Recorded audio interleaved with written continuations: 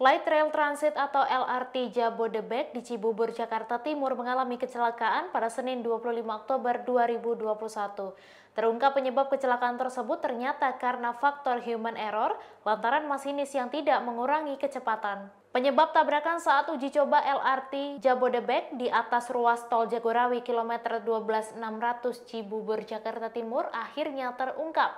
Dikutip tribuntimur.com diketahui penyebab kecelakaan pada Senin 25 Oktober 2021 itu lantaran human error. Hal itu disampaikan Direktur PT Inka Budi Noviantoro. Budi mengatakan tabrakan terjadi akibat kesalahan masinis yang tidak mengurangi kecepatan. Masinis yang berada di depan kereta yang bertabrakan selamat dengan luka ringan.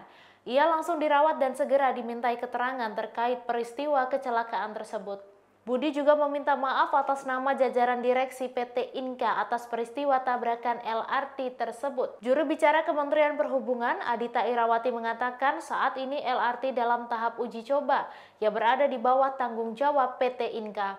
Diketahui sebelumnya, tabrakan LRT diketahui terjadi sekira pukul 12.30 waktu Indonesia Barat. Menurut pengakuan warga setempat, kecelakaan LRT tersebut menyebabkan dentuman besar.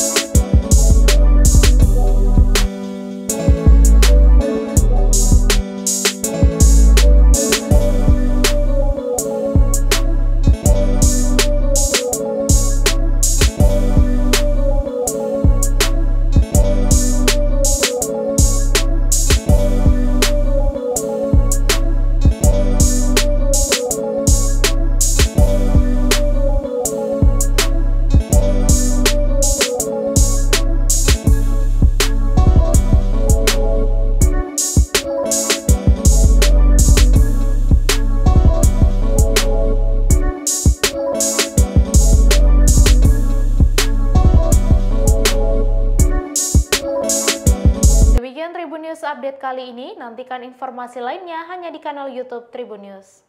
Terima kasih sudah nonton. Jangan lupa like, subscribe, dan share ya.